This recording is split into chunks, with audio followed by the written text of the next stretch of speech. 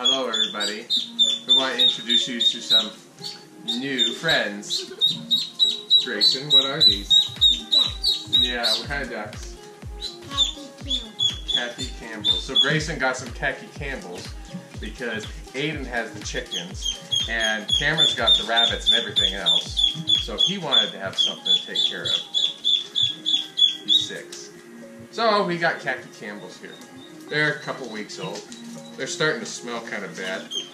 So we thought we would help them make their move out to the outside where they belong. So one of the things we have to get ready is we have to make sure that they have a way that they can get water and wash their noses. And so we've got a little brooder and everything set up, but we don't have any good way to water them without them getting in and making a complete mess and dirty.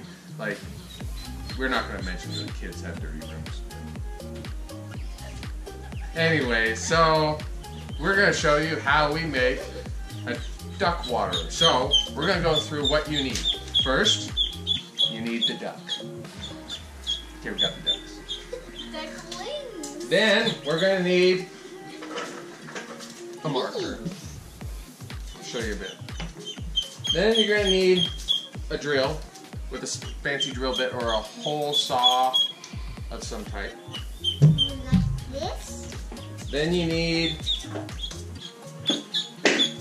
a bucket. There's the bucket.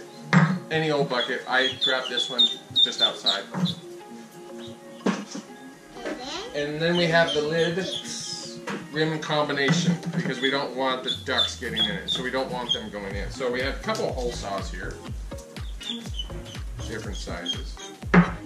So this is how we're going to choose what size we're to use. We're to make sure we get the right size hole for the duck because we don't want the duck to crawl in the water and get it all nasty because if you've ever seen duck water, it's pretty gross. So I've got these two right here, and I think this one's too big. He said it's too big. She said it's too big. So we're gonna see if the duck head will go in there. So it'll be nice, and it looks like it might fit. So hang on the duck. Now we got to measure the height. Now here's what we're doing with this is we take the duck and we figure out, okay, it stands about right there. So somewhere in here is where they need to put their head. So we say, yay, yay. Don't let the duck get away. What do you say? So um, about four inches, three and a half to four inches. And the goal of this is they stick their head in there. They get their nose wet, get their drink of water, but they can't climb in. Let the duck get away. That is a very precise mark. You have to make sure you are spot on with this because if it's if it's off, it's not gonna work. So here's how we're gonna do this. Uh, if you have one of these, this is a Milwaukee Lenox, Linux, whatever that has them. This chuck works well. So uh, it screws on. Here we're gonna use a small one. I prefer the ones that have the uh, little what's that called drill guide. And then you don't have to get super tight. And then this thing pushes forward and locks it in. So here's what we're gonna do first. We're gonna make sure we're on the kitchen table and everything is nice and dirty because um, no, don't do that. It's probably a bad idea. So we're just gonna line this thing up. Okay. Right about so. And you got a first hole. And let's see if the the duck's head will. I think it'll work. Do we need to make it bigger? no. Well, it's not gonna crawl through, is it? So careful, careful, careful. So see if it it's about the right size. So here's what we'll do. We're gonna make what four holes? Should we do four or should we do six? Twelve. A hundred. Four inches. When you're making these holes, a couple things you want to think about. Where are you gonna put it? Where are you gonna put it on? So and so forth. We're actually put it on the bottom where they can access. Okay, that's a good idea. How about in the corner? So we're gonna put this one in the corner.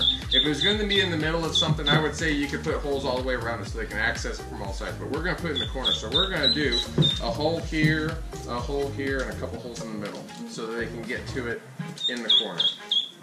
And uh, we're gonna be really precise with our measurements here. Very precise. I mean, talking machine shop precise. And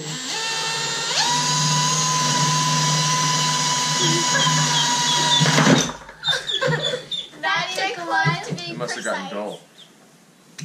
Not even close to being precise. So, well, we'll pick that up. With, Kristin will pick that up later. Yeah, yeah. so, anyways, this goes on top. You can buy all this at the Home Depot. Buckets are like five dollars. These lids, I think, are four and a half. And uh, this one was reused from another bucket that is no longer with us. It's dead. So it's dead. Yeah, Oh. I didn't get that one on there all the way. Oh, careful, careful. Yeah. There we. Go. Okay. Now with the lid on, nothing can get in to make it dirty. Just remember, you can't fill the buckets up all the way anymore, so they're only good for that much. Easy clean out. We'll let you know how they go. Um, if it gets to the point where they can't quite get into them real well, what we'll do is we'll just take a knife and we'll just make these a little bit bigger on the top. They can stick your head. Don't want to make them too wide because as soon as they can get their wings through, they're going to go right on it. They can get their head So- What do you think? Shall we uh, move these ducks out there? Oh yeah, your heads can go Yeah. right through. What do you think, Ducky? Uh, you go. I think. I,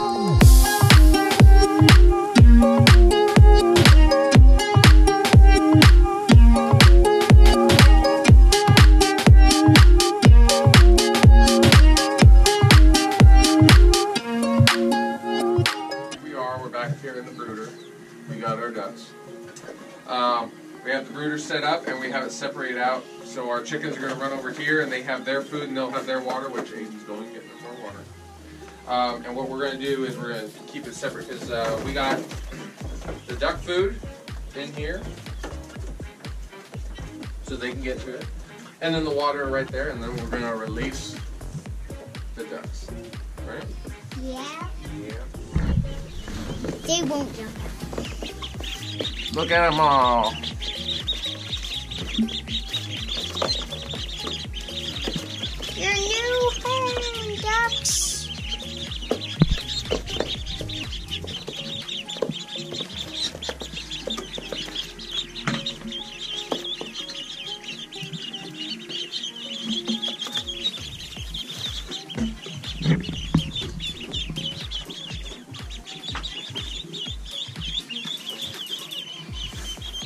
So we've used this brooder for um, chickens, and we've had them out there when they're this age, and it's been snowing and freezing cold outside. And this brooder has two heat lamps in it, and then we have another piece of plywood that goes right over the top.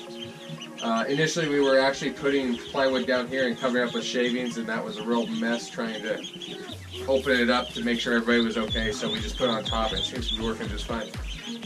So see how they do. They should do better, way better than chickens.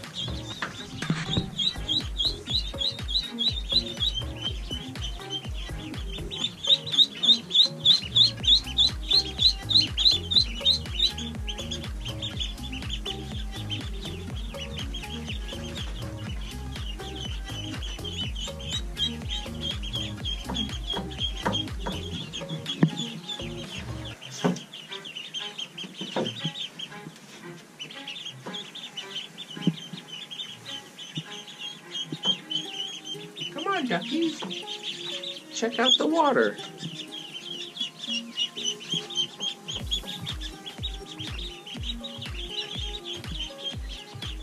Maybe put a whole bunch of them out here by the water.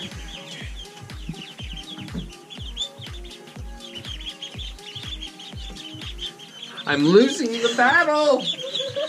I'm losing. They're all going back in.